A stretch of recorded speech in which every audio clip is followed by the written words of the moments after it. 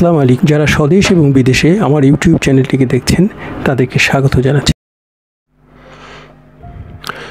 সুধীবৃন্দ, আসসালামু আলাইকুম। আমি আব্দুল সালাম আপনাদেরকে স্বাগত জানাচ্ছি আমার এই ইউটিউবে। একটি গুরুত্বপূর্ণ অধ্যায় নিয়ে আপনাদের সাথে হাজির হয়েছি। বিষয়টি হলো আরিচাঘাটে ওয়াই আকৃতির একটি ব্রিজ তৈরি। তো ব্রিজটা কার কাছে আমরা দাবি করছি? আমরা বর্তমান সরকারের কাছে দাবি করছি যে আরিচা ঘাটে এবং এটা সিরাজগঞ্জ এবং দৌলুকদিয়া ঘাটের উজানকে টার্গেট করে এই ব্রিজটা তৈরি করা হোক।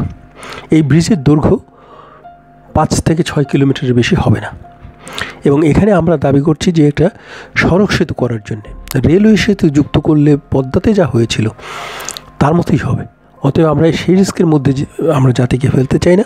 আমরা বলতে চাই যে যে ব্রিজ করা হয়েছে ভাটিতে এবং যে প্রচণ্ড ইয়ে হয়, স্রোত হয়, সেই নদী শাসন করেছে তারা হাজার হাজার কোটি টাকা খরচ করে। আরও অনেক কাজ করতে হয়েছে তাদের এই ব্রিজটাকে বাঁচিয়ে রাখার জন্য। তো সেই জন্য এত বড় রিস্ক নেওয়া ঠিক হবে না। রিস্কটা আমাদের কী হবে? যে আমরা একটা সড়ক সেতু করব।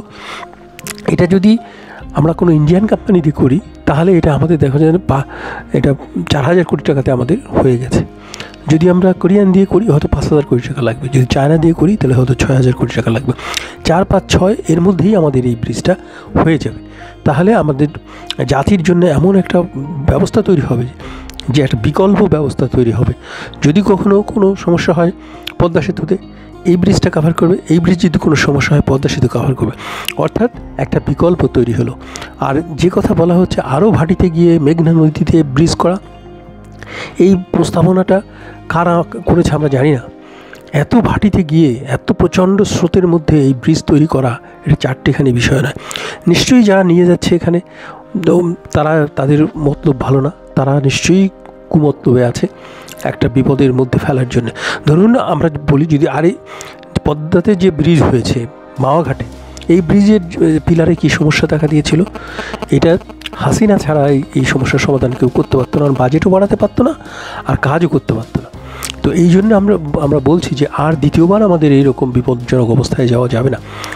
আমাদের, আপনি যত ভাটিতে যাবেন, তত প্রচণ্ড স্রোত এবং প্রচণ্ড ঢেউ এই ব্রিজ টিকায় রাখা খুব কঠিন হবে। মাটির গঠনও ভালো না। ওই সমস্ত অঞ্চলে এঁটেলো মাটি নিচে গিয়ে দেখা যাচ্ছে বালু মাটি। অতএব আমরা মনে করি এখানেই এই ব্রিজটা হওয়া দরকার। বাজেটের কথা আমরা বলেছি যেটা হয়। এটার একটা সামাজিক প্রেক্ষাপট আছে। সামাজিক প্রেক্ষ- প্রেক্ষাপট আছে এইভাবে যে ইতিহাস বলছে যে দৌলুকদিয়া এবং আরিচা ঘাটেই ছিল প্রথমে ফেরি ফেরি চলাচল, লঞ্চ চলাচল করতো। কিছুদিন পরে এটা পাটুরিয়া উম, দৌলুকদিয়া করা হয়েছে। তো এর আগে কিন্তু চলতো আরিচা ঘাট থেকেই চলে যেত। আরিচা ঘাট থেকে আমরা চলে আসতাম আহ, গলন্দ ঘাট আর একটা ফেরি চলে যেত আপনার সিরাজগঞ্জ। ওটা কি একটা জায়গা আছে ওখানে? সেখানে গিয়ে এসে নামতাম জায়গাটা বলতে পারছি না। তো এটাই ছিল আমাদের অরিজিনাল রুট তো এই রুটেই আসলে চলাচল করবে গাড়ি ঘোড়া। এই রুট হবে ইন্টারন্যাশনাল রুট এই ইন্টারন্যাশনাল রুটটা কিন্তু এটা দিয়েই হবে। আমাদের আর রাস্তাঘাটেরও তেমন সংস্কার করার প্রয়োজন নেই। কারণ অলরেডি আরিচা ঘা আরিচা রাস্তা, ঢাকা ঢাকা আরিচা রাস্তা প্রায় ছয় লেনের বা আট লেনের হয়ে যাচ্ছে। তো আর তো সেখানে আর কোনো খরচ নাই। এটার সামাজিকভাবে আমরা কী হব যে সম্মানিত হয়ে যাব? দেশের মধ্যে হয়ে যাব আর আন্তর্জাতিকভাবে হয়ে যাব।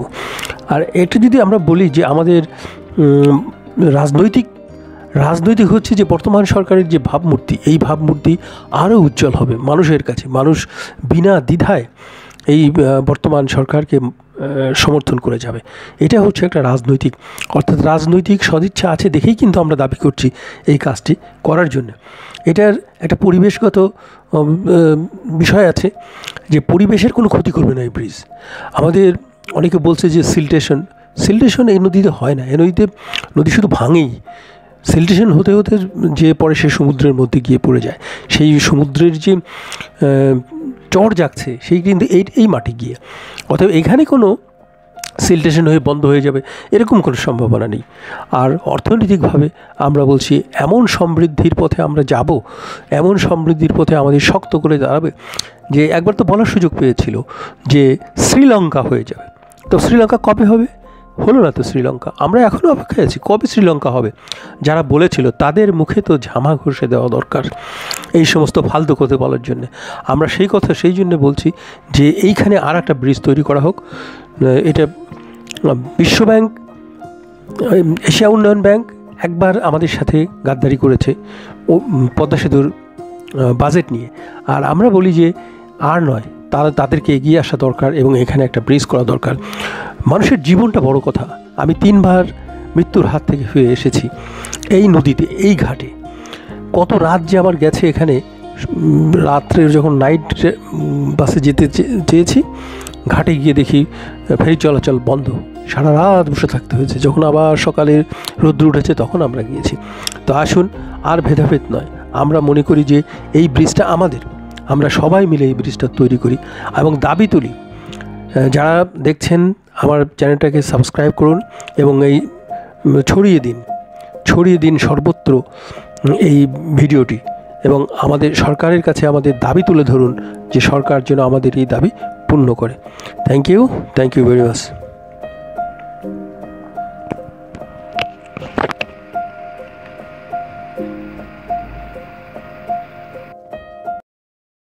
যারা দেখলেন তাদেরকে শুভেচ্ছা জানাচ্ছি। অনুরোধ রাখ চ্যানেলটিকে সাবস্ক্রাইব করার জন্য। Thank you thank you very